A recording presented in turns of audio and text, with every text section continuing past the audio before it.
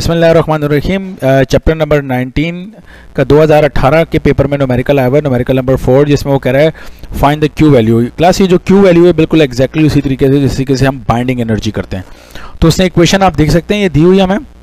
Plutonium दिया हुआ है, जो कि ब्रेक डाउन हो रहा है एक अल्फ़ा पार्टिकल के अंदर और यूरेनियम में। और जब ये प्लूटोनियम टूटा तो इस दौरान एनर्जी रिलीज़ हुई, जिसको वो क्यू वैल्यू कह रहा है। तो क्यू वैल्यू बेसिकली जब भी कोई इस तरीके से डिसइंटीग्रेशन होती है तो उसमें जो एनर्जी रिलीज़ होती है, उसे हम क्यू वैल्यू कहते हैं, ठीक है? क्यू वैल्यू एब्जॉर्ब भी होती है रिलीज़ भी होती है बाय द वे इस वक्त जो रिलीज़ हो रही है, वो हमसे मालूम करने को कह रहा है। और ये उससे नीचे डेटा भी हमें साथ में गिवन दिया हुआ है।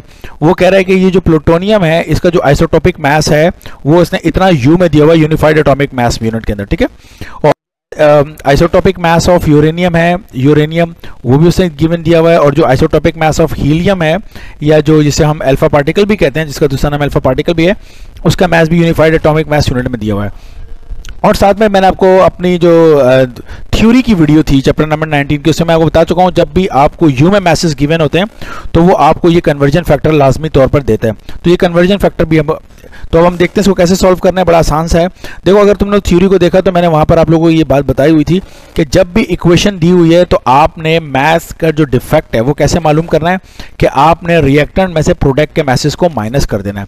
तो रिएक्टेंट जो मैं इक्वेशन लिखना शुरू कर रहा हूँ, कि देखिए, अगर हम मैथ डिफेक्ट मालूम करते हैं तो वो क्या होगा? वो रिएक्टेंट का जो मैस है, उसमें से आप माइनस कर देंगे, जो प्रोडक्ट का मैस है उसको। यही चीज़ मैंने वहाँ पर एक्सप्लेन की हुई है, ठीक है? आप उसको देख सकते हैं। अच्छा अब रिएक्टेंट हमारे पास क्या है? रिएक्टेंट के अंदर अगर आप देखें तो हमारे पास सिर्फ़ प्लूटोनियम है। तो मैं इसमें सिर्फ़ प्लूटोनियम है, चूँकि प्लूटोनियम है तो मैं प्लूटोनियम रिएक्टेंट के मैथ में सिर्फ़ प्लूटोनियम का मैथ लिखूँगा जो कि मेरे पास कितना है? टू ठीक है?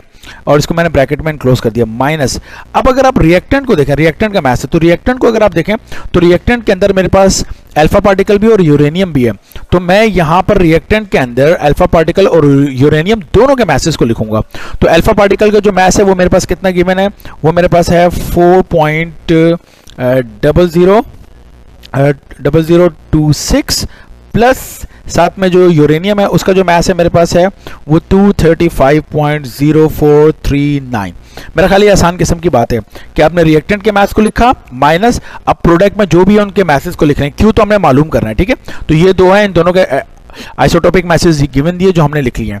बस अब हमने सिर्फ़ इसको सॉल्व करना है। हमारे पास आंसर आ जाएगा 239.0522 माइनस इन दोनों को अगर मैं प्लस कर लेता हूँ क्लास तो four point double zero two six में अगर हम प्लस कर देते हैं two thirty five point zero four three nine तो this become two thirty nine point zero four six five ठीक है? और अगर मैं two thirty nine point zero five double two में से माइनस कर देता हूँ, इस आंसर को तो मेरे पास जो वैल्यू आती है, वो आती है five point seven exponent minus three आ जाता है ये आता है मैस डिफेक्ट यू अब ये जो मैच डिफेक्ट आया, यही मैच डिफेक्ट तो बेसिकली यानी ये मैच क्यों कम हुआ?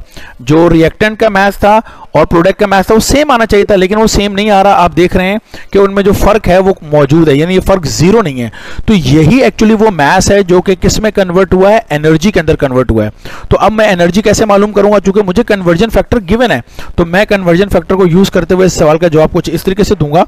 मैं कहूँगा कि मैं जानता हूँ कि वन एज लिख देते हैं एज वन यू जो है, वो 931.5 मेगा इलेक्ट्रॉन वोल्ट के इक्वल है। अब मेरे पास कितना यू है? 5.7 करके। तो मैं 5.7 एक्सपोनेंट माइनस थ्री को मल्टीप्लाई कर दूँगा वन यू से। तो इधर भी 5.7 एक्सपोनेंट माइनस थ्री को मल्टीप्लाई कर दूँगा 931.5 से।